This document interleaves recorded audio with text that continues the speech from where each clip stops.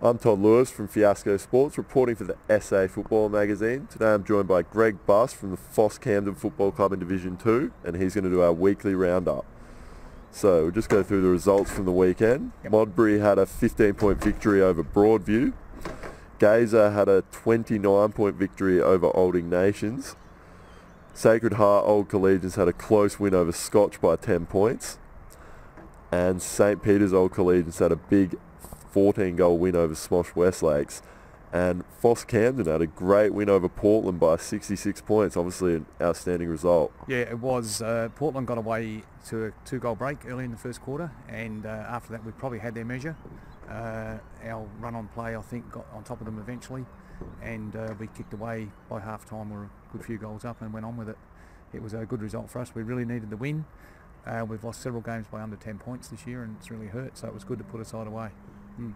Was there any concern early in the game when they did kick those first two goals? Did you think, oh no, this could be a day where we're just not on? Yeah, well, it's a game we probably ticked as a win, uh, but you can't take those games without respecting the opposition. Yeah. They came out to play football and uh, gave it a really good crack, and it was a good standard game. Yeah, Yeah. so we were a bit concerned early, but uh, managed to uh, once us- once once we got our game going, uh, it worked quite well. Yeah.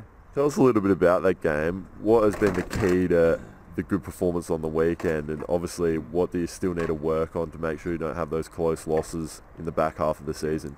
Uh, well, we've lost uh, quite a few players. We've got two or three long-term injuries and uh, several players away at present for a month. So it's uh, meant that our reserves have had to step up, and I think that was the highlight.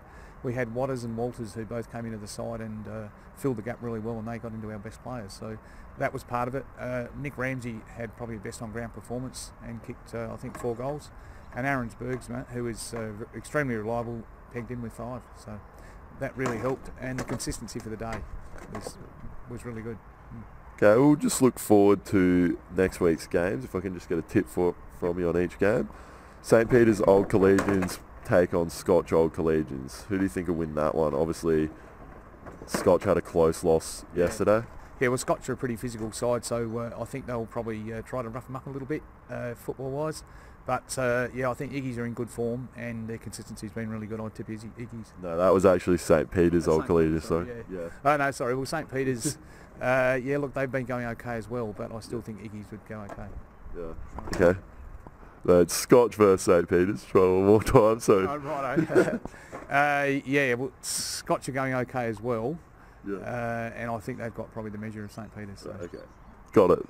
Uh, Old Ignatians take on Broadview. So you obviously think, think Iggy's are a pretty decent Yeah. side. Yeah, they they are. Uh, Broadies are coached by uh, our old coach Wayne Wiedemann, Yep. and I was talking to him during the week, and uh, unfortunately they lost yesterday, but I think they'll have the measure of them. Mm. Okay. Uh, Modbury take on Smosh Westlakes. Smosh Westlakes have been struggling a little bit. Yeah, yeah, Modbury are a good side, and uh, they're probably going to be the measure in this competition this year, and I think they'll have the measure of of uh, Smosh. And Portland take on Gaza at Portland Reserve. Yeah, once again, I think Gaza have probably got uh, got the wood on them as well. Uh, so Portland are struggling, I think, and they've lost a lot of players. So uh, yeah, I would think that they will go okay.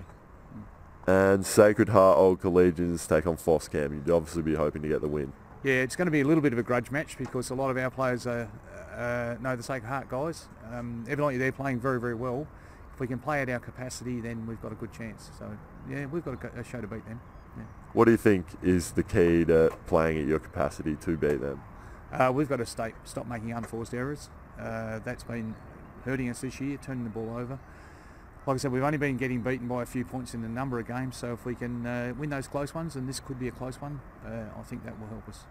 Okay, thank you, Greg. I'm Todd Lewis from Fiasco Sports, reporting for the SA Football Magazine. I've been joined by Greg Buss from the PHOS Camden Football Club in Division 2, and he's done our weekly roundup.